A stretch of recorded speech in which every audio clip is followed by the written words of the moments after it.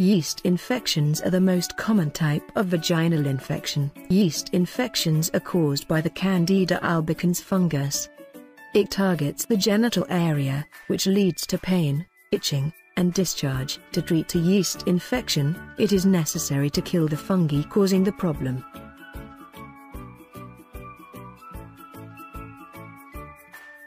Coconut oil is an excellent home remedy for vaginal yeast infection. Coconut oil has effective antifungal properties that can kill the fungi responsible for yeast infections. To treat a vaginal yeast infection using coconut oil, be sure to buy organic coconut oil.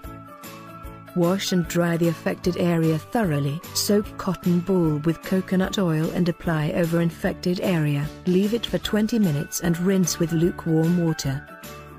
Repeat regularly until infection is gone. Coconut oil also soothes chapped and inflamed skin. Regular application of this oil will bring down the overgrowth of yeast that is causing the infection and irritation.